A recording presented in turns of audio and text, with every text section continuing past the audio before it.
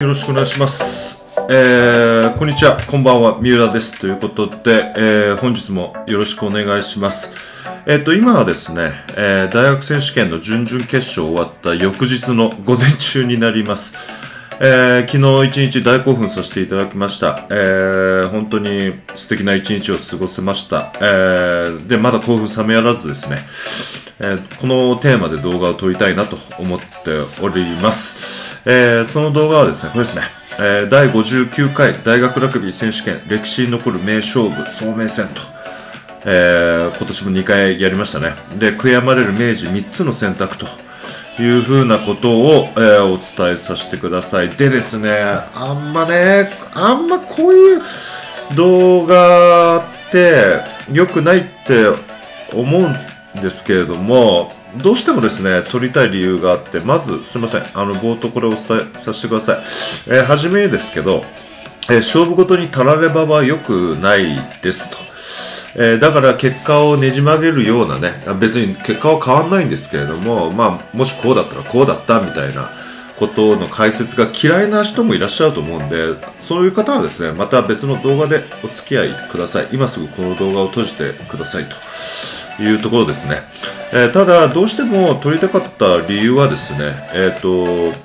僕の周り、やっぱなんだかんだね、あの、ラグビー YouTube コミュニティとか、あとそのラグビー仲間とか見てもですね、やっぱ、あの、明治ファン多いんですよね。で、素敵明治ファンのために、ちょっとあの、見解を聞かせてくれみたいなのも早速ありますから、あまあ、そのファンのために答えたい僕だ、僕が思うことの本音ですね。あんまり動画で言わないです。結構そのコミュニティ内では結構本音バンバン言うんですけど、チャンネルもそれなりになんか大きくなってきたんで、まあ、なんかその言葉選んでる自分もいるんですけど、まあたまには、あの、このいう場でも本音言ってみてもいいんじゃないかなという気がしました。あと何よりも、本当他の試合も素晴らしかったんですけど、もう歴史に残る総名戦の、あの、伝統ある総名戦の中でも歴史に残る1試合になったと思います。だからその備忘録のため、えー動画を収録することをお許しいただければなと思います。ただ、そういうのは嫌いだよ。もう結果を素直に受け取れよというような方はですね、今すぐこの動画を閉じていただきですね、あの別の僕の まあどれもこれもあれですけど、他の動画で楽しんでいただければなと思います。まだね、興奮冷めやらない状況だと思うので。えーで、えーっと、ちょっと更新しました。もう提供圧巻でしたね。あ同志社に対して圧巻でした。で、あとやっぱつくばやりましたね。うんほんと素晴らしい。あの運動量、もう一回、当然見ました。あ終わった後。あ生配信終わった後とか当然、あもう J スポーツのサーバーが落ち着くよ夜中ですけどね。あ見ましたが、確かにあの、中瀬さんの解説通り、前半のあのパフォーマンスすごかったけど、後半これ続くのかっていう不安は、えっ、と、多分生で見てたら僕もそう思うんですけど、それが続きましたね。素晴らしい。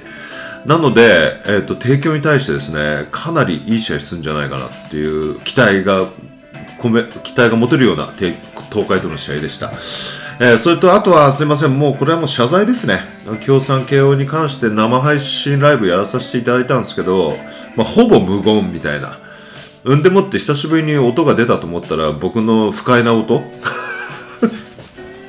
もう本当にお付き合いいただいた方は本当ごめんなさい、もう謝罪です。うんでね、昨日夜中もね、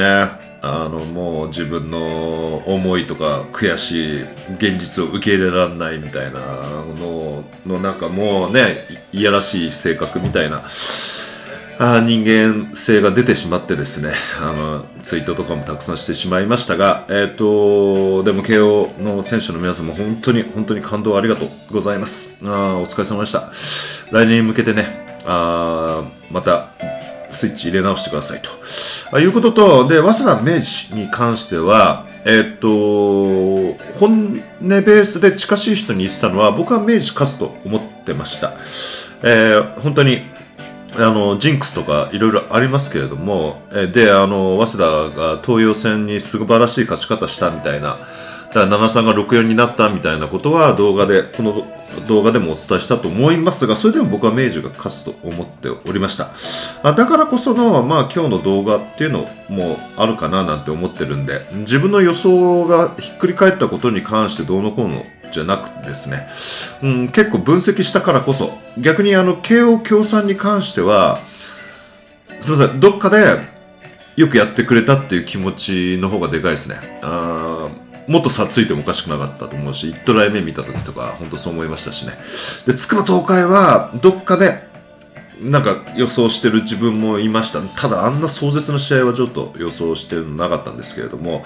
えっ、ー、と、そういう意味ではね、明治の敗戦っていうのはかなり自分の中では、あの、ショッキングな、あれだったな。いやいやいや、別にもうご存知、早稲田とかももちろん好きなんですけど、今年の明治はね、あで、もう一つ、やっぱ、なんとなくですね、石田吉平選手を応援してたんですよね。いや、ほんとプレッシャーだと思いますよ。で、しかも、あのまあ、言っちゃいですけど、明治でバックスでキャプテンって相当プレッシャーだと思いますよ。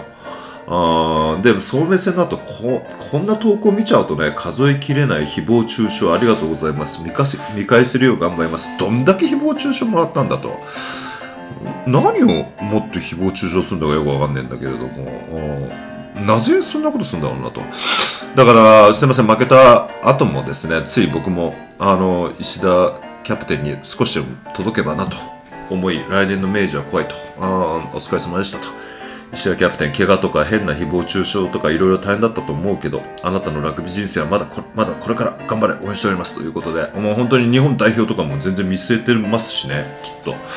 あなれるあの資質ですから。あもう、この経験をバネにですね、えー、本当にスーパーウィング、スーパーラガーマンとして頑張ってもらいたいなと。あで、えっ、ー、と、記事とか見てもですね、他にもあったんですけどね、自分がもっと引っ張っていれば違ってたとか、あとは、ちょっとどっかでこのプレッシャーから解き放たれる自分がいたりするっていうような楽だと思う自分がいるみたいなそういうコメントもありましたけど本当すごい重圧だったと思うんですよね。あ本当お疲れ様でした。あ本当に、うん、ちょっと新しい明治が見れた感じで。うん。だからね、もう本当に、誹謗中傷とか本当やめてほしいな。あ一生懸命やってんだしさ。あうん勝負は時の運っていうのもありますしね。で、えっ、と、そんな状況でですね、まあ、先ほどもちらっとお伝えしたんですけど、事前の動画ではなんとなく73明治だったから64明治に変わった東洋戦後、そのくらい早稲田が仕上がってきたなっていうのは感じましたよね。でもそれでも明治優勢は変わらないって言ったのと、前回の総明戦で明治がかかってた一番の理由はディフェンスだったと。で、早稲田のアタックオプションに手詰まり感を感じた。ただ、宮尾選手はもう相当やっぱやってくれましたね。攻撃のテンポが単調だったと述べているので、前回と同じような手詰まり感はないと思える。なかったですね。ああと、吉村選手のキックっていう武器がもう、結局あのペナルティーゴール2本の点差ですからね。えー、藤島さんも含めいろんな知見者がお互い手の内を見せてないのではと分析しているその神秘真偽は分からんが今回絶対そんなことないということでやりきったと、あのー、言いたいところなんですけれども あの慶応の勝ち方にちょっと早稲田似てたかなと思ってつまり明治のいいところ封印してましたよね。あだからそういう意味では本当に試合巧者っていうことを簡単に使うのもいかがなもんかと思いますが、やっぱ早稲田は大学選手権慣れっていうかね、さすがでしたよ。という感じでした。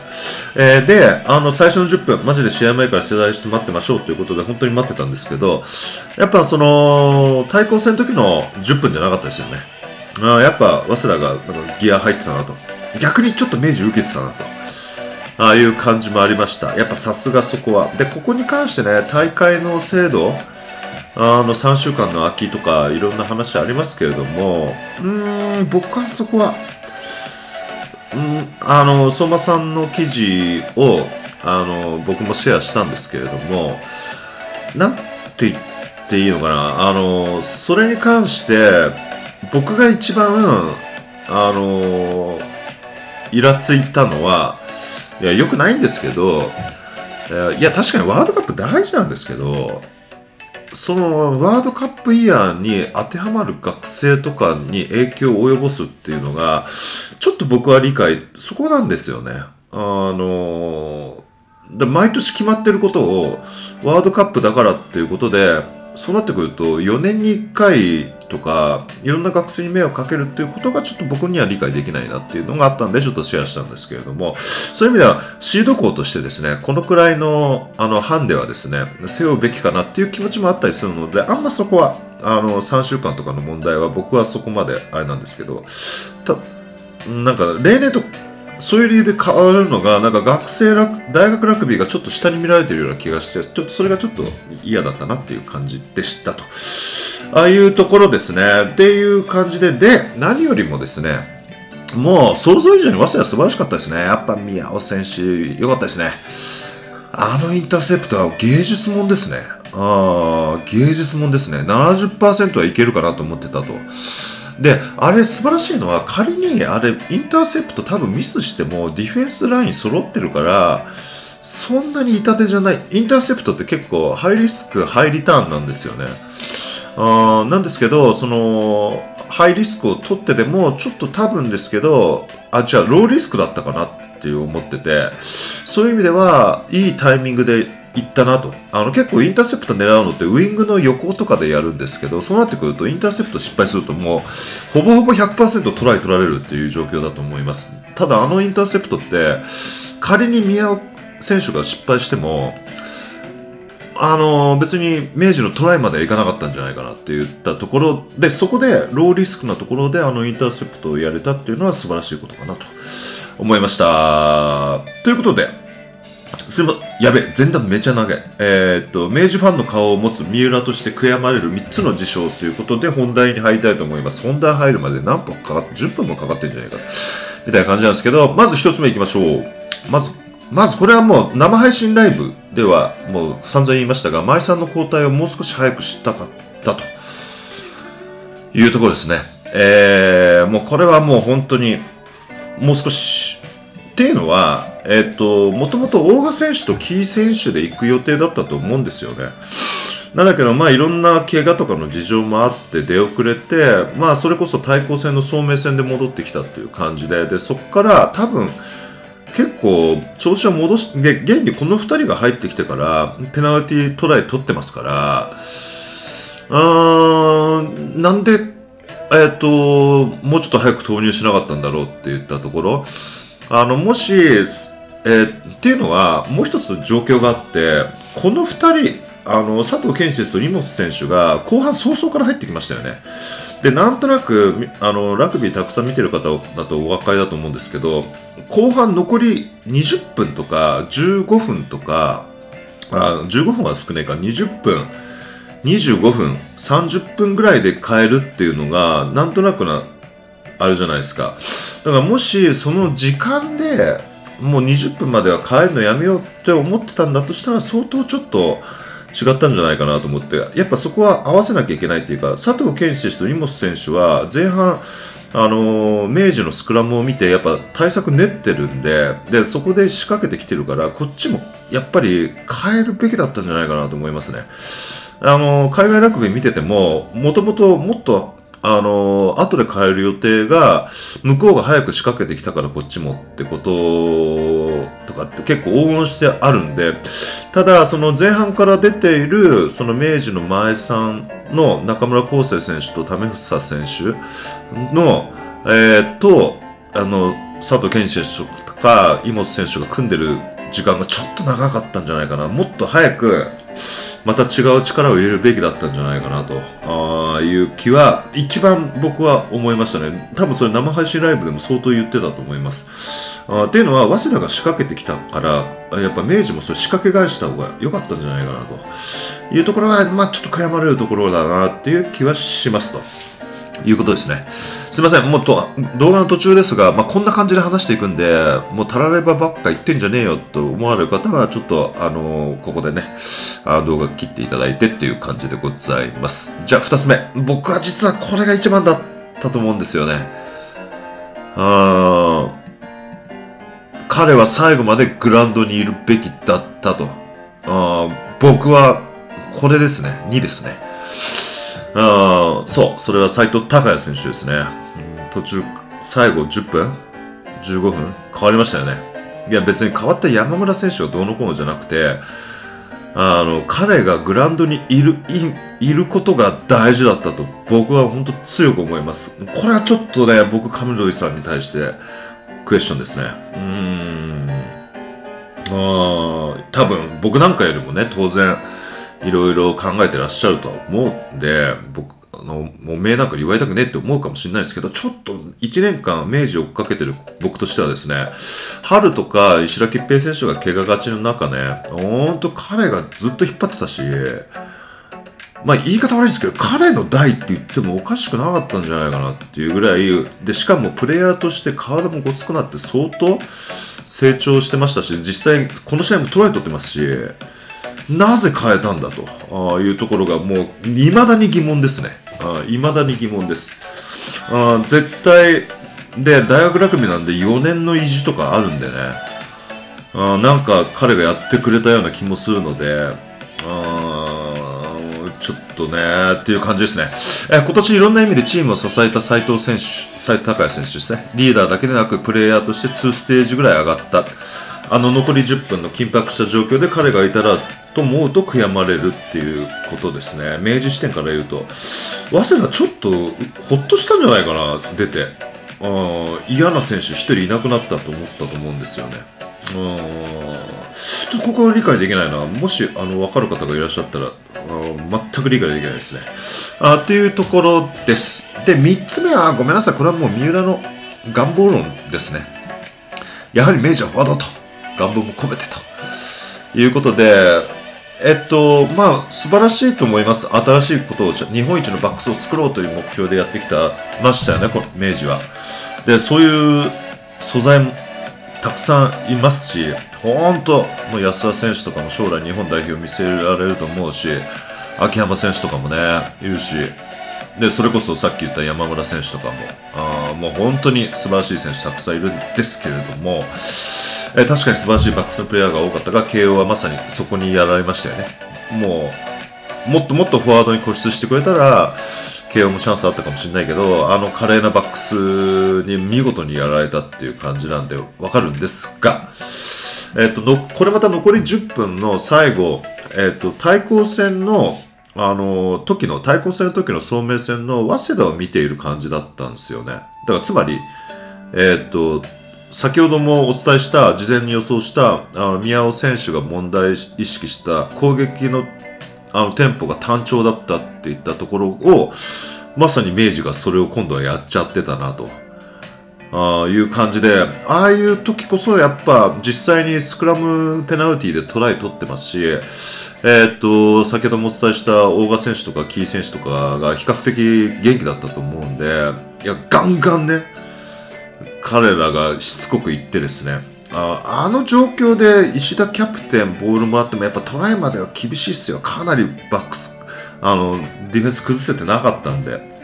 あだからそういう意味では、その、別に伝統というつもりはないんですけれども、やっぱフォワード、バックスが優秀なだけに、フォワードもす、ね、いつも通りの明治のフォワードの俺らが試合作るんだっていうようなのがもっと見たかったなと。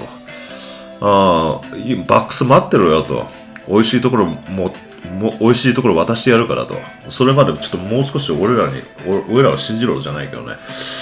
あっていうのが、あのー、ちょっと思ったところですね。うん。てな感じで、私的には、ちょっと理解が難しいっていうか、長年見てきたからこそ、ちょっと悔やまれる3つだったな、なんていうふうに思いました。えー、べ、てたらればですと。えー、ただ自分が明治出身ファンだったら本当に悔しい敗戦だったと思います。あの、もちろん慶応も共産に負けて悔しいんですけど、あの、これまた先ほどお伝えしましたが、よくやったっていう気持ちもあるんですよね。あだけど、明治ファンからしてみたら、あの、勝てる試合だったっていうのが、慶応以上に思うと思うんですよね。あだからこそ、なんかね、ちょっと、ね、本当に勝敗は紙一重。えー、早稲田の勝利を祝いつつも、